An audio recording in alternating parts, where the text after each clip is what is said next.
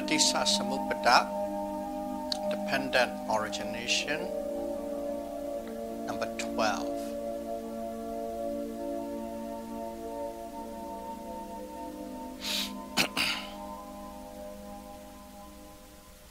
Upadana Pisaya Bhava because of grasping as condition, life action arises. This is on the, the ninth link of dependent origination.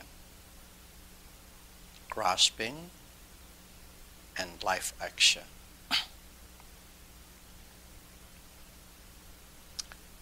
so here the Pali word bhava, B-H-A-V-A, which we translated as life action. Okay, what does bhava means? Bhava means life. Life in all three time zones. Life in the past, life as present, life in the future. That's called life. That's called bhava. So based on what bhava you are talking about, one should be aware of it. Bhava is life. it covers the whole past, present, and future. and life, bhava, life. Life is defined by all actions mental actions, verbal actions, physical actions, all actions, one makes during one's existence or lifetime. All the actions that one makes, three kinds of action physical, verbal, mental. And that is life. You have to explain or what life is. Life is the accumulation of all your actions. Therefore, bhava actually is action. Bhava is life, bhava is action, life is action. These three kinds of actions physical, verbal, and mental are causes. They are the causes which give rise to effect. If there's a cause, there's effect. These actions are the causes. As they cause, it will give result or effect. So all these causes, all these actions in one word you can call it karma. We know the word karma. We heard it quite often. What is karma? It's all these causes, all these actions collectively It's called karma. So, you can call, in a sense, life or bhava is karma. Okay, bhava is karma.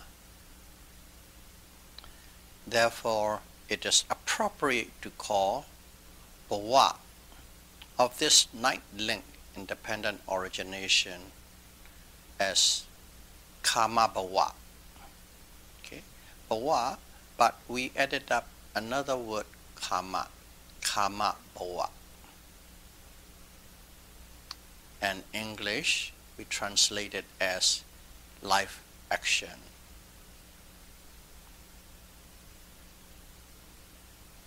Action qualifies life. That's why we call it life action.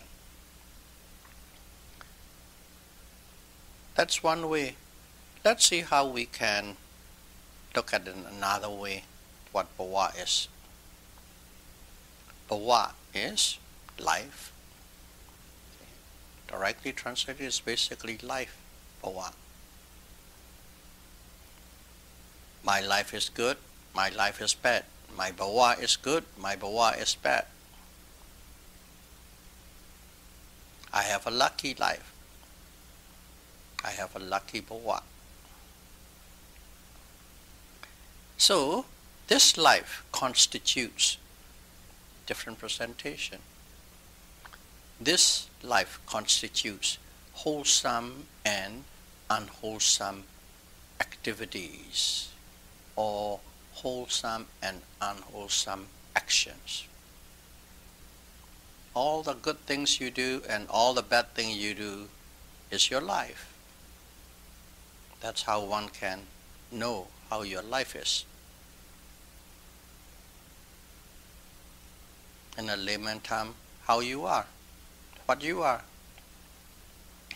So, all the wholesome and unwholesome actions what are they? Again, all the wholesome and unwholesome the actions that you do is karma. Therefore, you can call it karma bhava or life actions. All actions or karma are conditioned these actions, these karma, these karma bhava are conditioned by four kinds of grasping, upadana. In the last talk, we explained in detail what the four types of grasping are.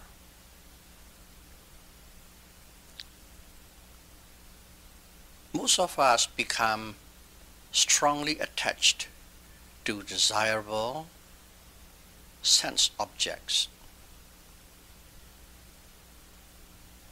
Desirable sense object, basically something or someone that's a desirable sense object.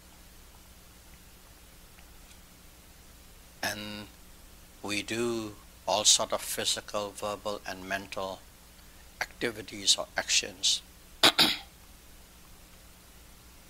to get those desirable objects. That's it. That's our life. Whatever we like, we try to get it. Whatever we don't like it, we try to push it away. So, why? Because we are strongly attached, grasping, upadana, to these desirable objects. So, such actions that we make to get the desirable to get the desirable object. What is it? They are karma. Or you can call it karma bhava. As in the ninth link of dependent origination or translated into English, life action. L-I-F-E dash A-C-T-I-O-N, life action. Let's call it a new word. So that is with the desirable sense object attachment to it. But some become strongly attached to a wrong view through belief.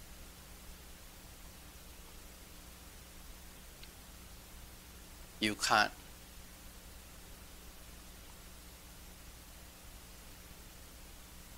believe in something wrong through logic and analysis and analytical and detail stripping down. It's simply belief, blind faith. Through a belief system, you become attached to a wrong view. As an example is believe or not believe. Not believe is also a belief. By not believing in the law of causality, okay, law of causality. If there's a cause, there's effect. If there's a good cause, you will have a good effect. If there's a bad cause, you will receive a bad effect. Law of causality. By not believing in the law of causality, you will do all good things and bad things, unwholesome, unwholesome things and wholesome things, or actions, without having any regard to the consequences because you don't believe there's any consequences. That's not believing in law of causality. And thus make wrong view driven karma bhava. Okay. All these activities are wrong view driven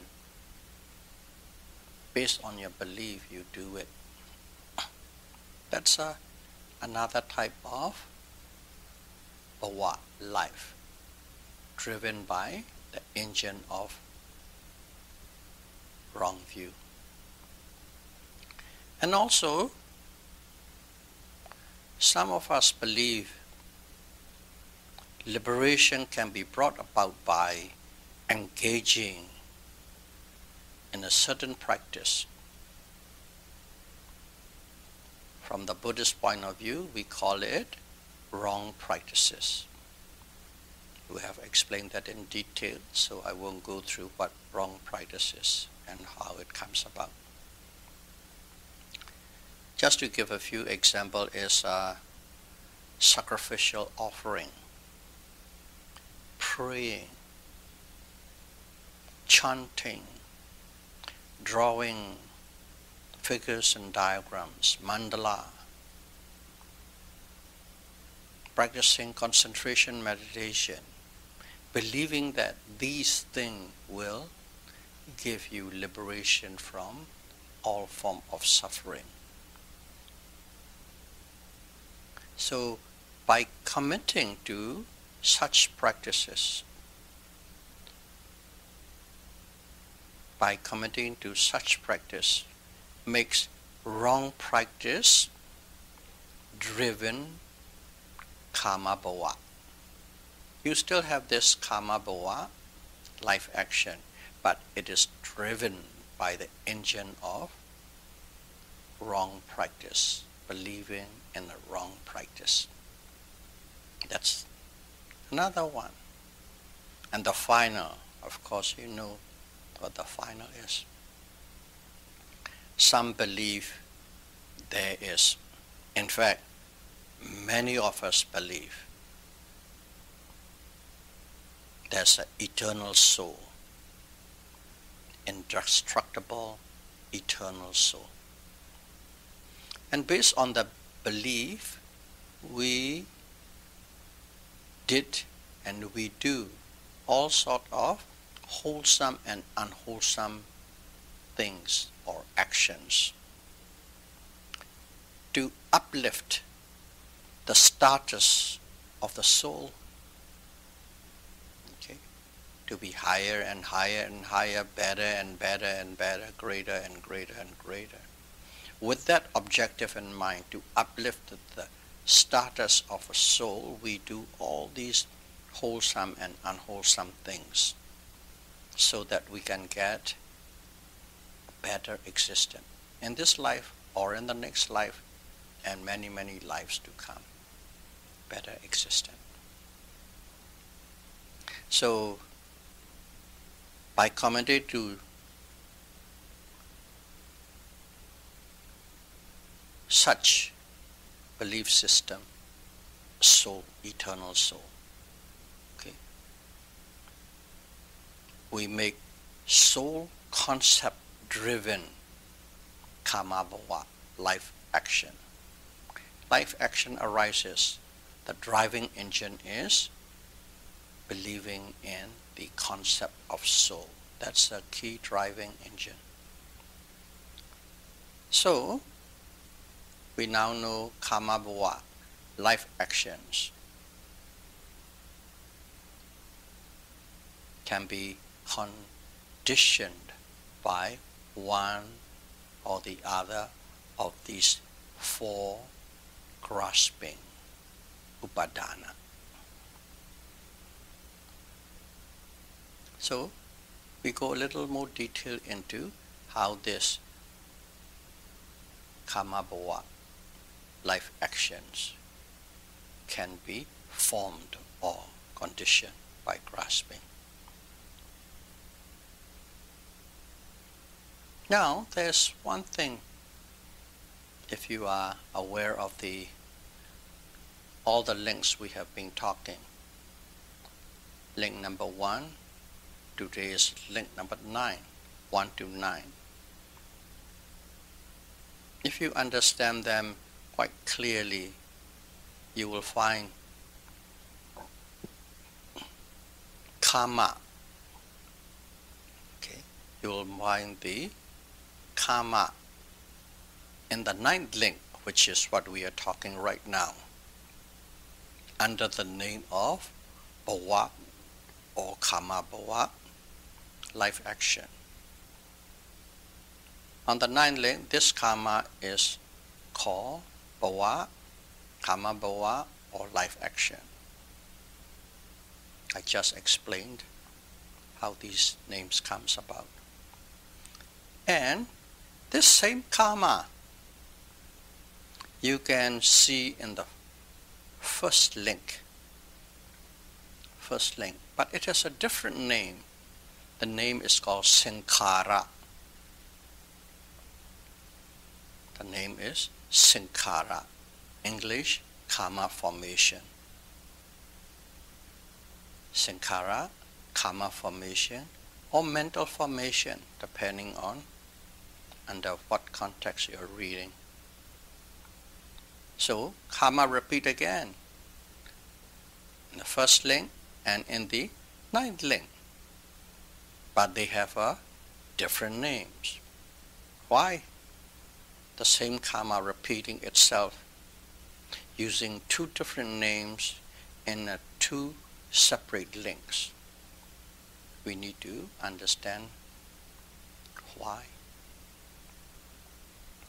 So let's go to the first link. If you remember, avidya pichaya sankhara, because of ignorance as condition, mental formation arises. So ignorance is a key conditioning factor for the arising of the karma formation called sankhara.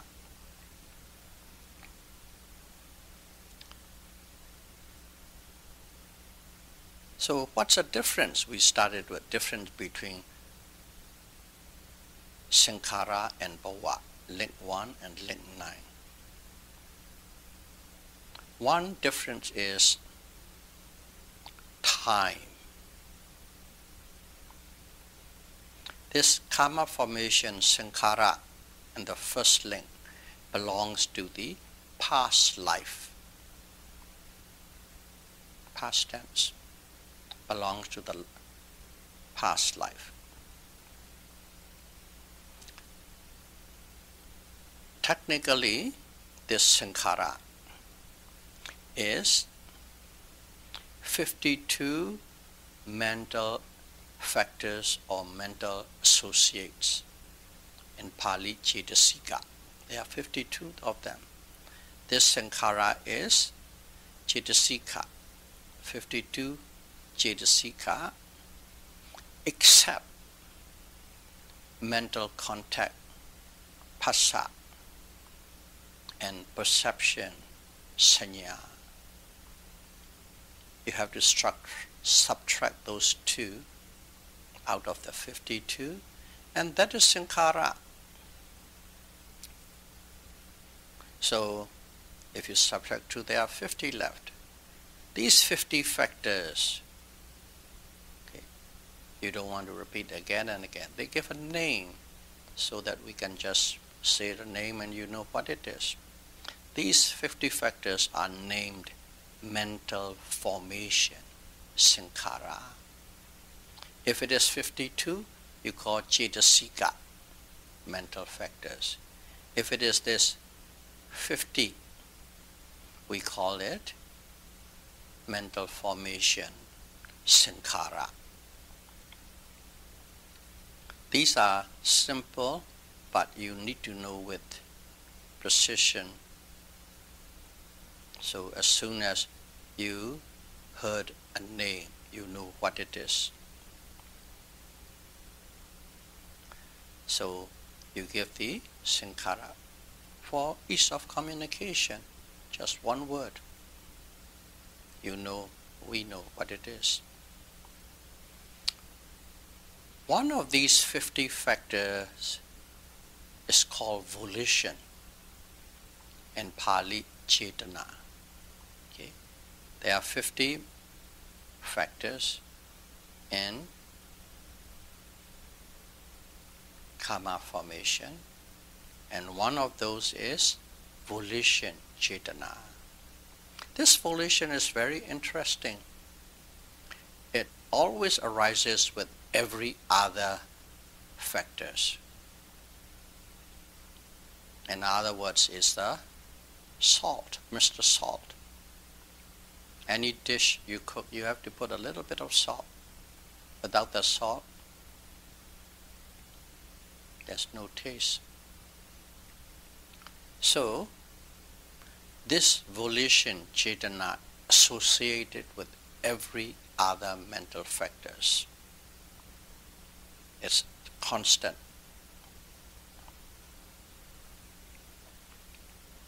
So in the dependent origination, it's stated due to ignorance, due to ignorance, mental formation arises. That's the first link. However, as volition, chetana, is associated with every other factors,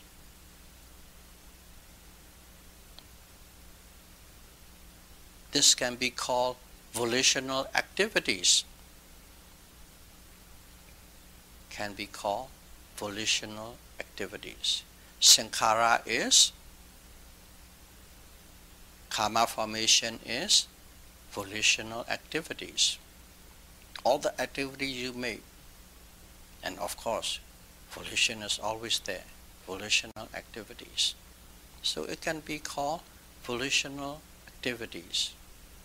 But what is volitional activities? all the things you do. Simple karma. Volitional activity is karma.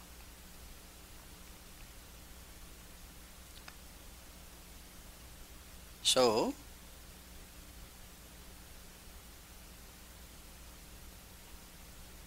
karma formation instead of mental formation.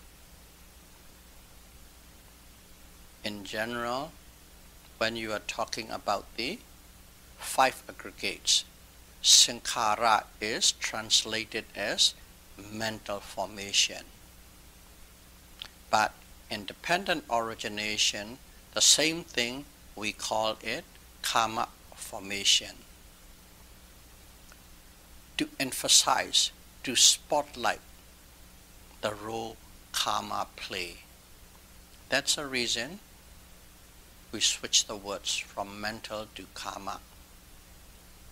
Mental formation, sankhara. Karma formation, sankhara. When you say karma formation, you emphasize the role that karma plays to explain the dependent origination.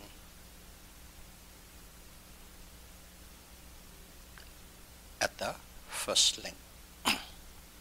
So that will give you a, a little fair understanding about this karma. Why is it called sankhara?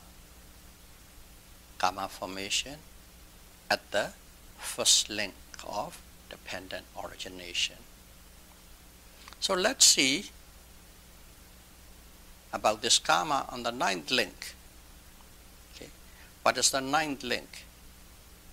In Pali, Upadana Pichaya Bhavo. Grasping as condition. Grasping as because of grasping as conditioning factor. life action arises. That's the ninth link. So grasping is the key conditioning factor for the arising of life action. Straight, immediate, no if or but. That's why karma is called bhava, life action on this ninth link of dependent origination. Now this karma bhava, because we call it uh, a bhava, because of the karma to emphasize the rule of karma, we'll call this bhava karma bhava. Bhava is life. Karma bhava is life action.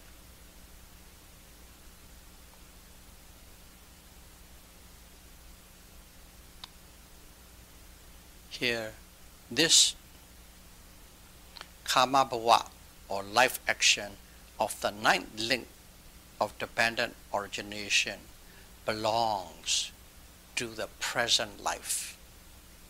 There's a difference between the first one, sankhara. Sankhara belongs to the past life, and this bhava or karma bhava belongs to the present life. So grasping is the key conditioning factor of bhava.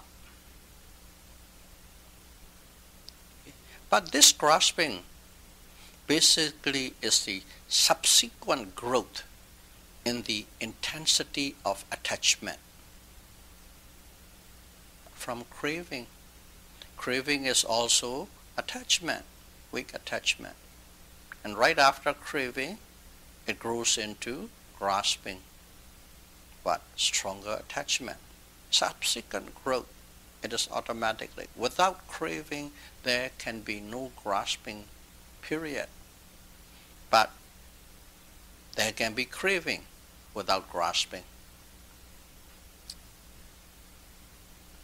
For some objects that you are neutral to, just little craving, brush by, and that's it, pass on.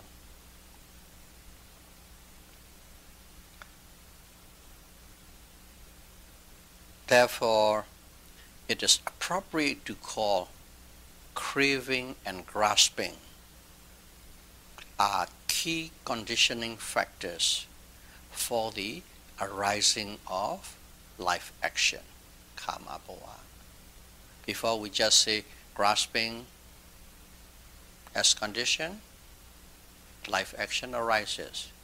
Now we like to put further emphasis Craving and grasping are the conditioning factors and life action arises. Because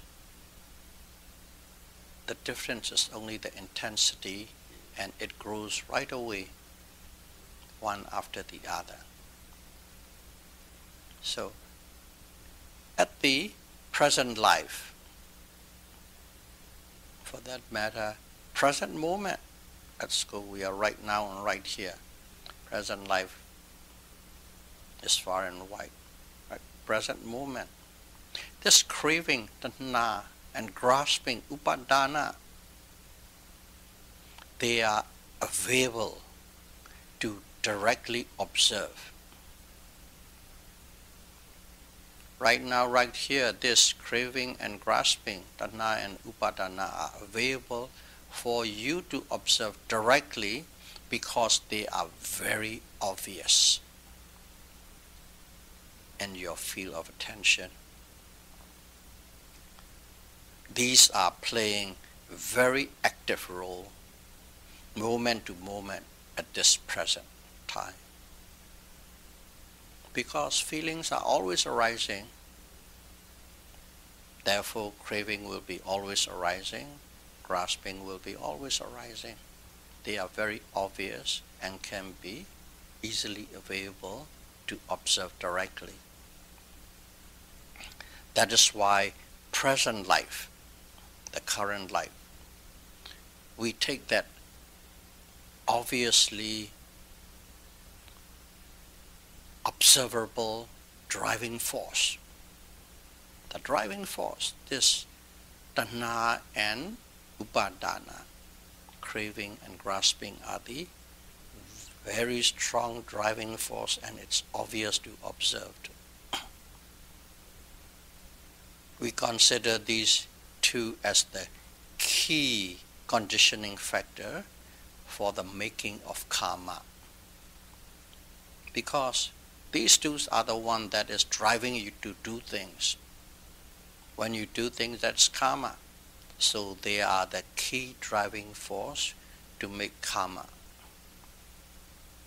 Or karma bhava or life action one and the same. Different words. You can use any words you like.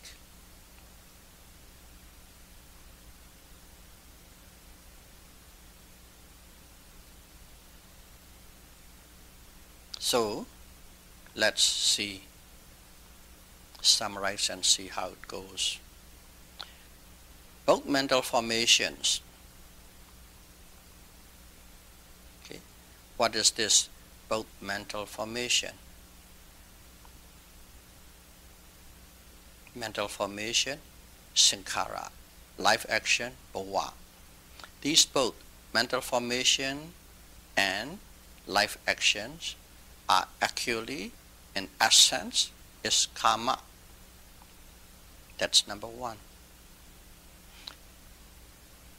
And this mental formation, the first one, belongs to the past life. And the other life actions belong to the present life. At present life, we can observe this craving and grasping directly. Craving and grasping directly. So current driving force, which is constantly active in the field of attention, is designated as key conditioning factors for karma, or you can call it karma bhava or life action. for life action, the key conditioning factor is tanha and upadana, craving and grasping. And for karma formation, sankhara, the rule that plays key conditioning is ignorance, avijja. In here, that will be sufficient. This much will be sufficient. But we'll extend farther when we come to review with regard to these two based on and backed up by scriptures. May all of you be able to understand the role that craving and grasping play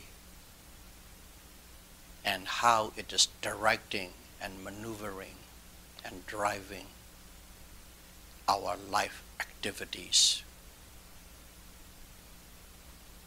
clearly and may we be able to steer ourselves on the right path as soon as possible. Sadhu, sadhu. Sadhu. Thank you very much.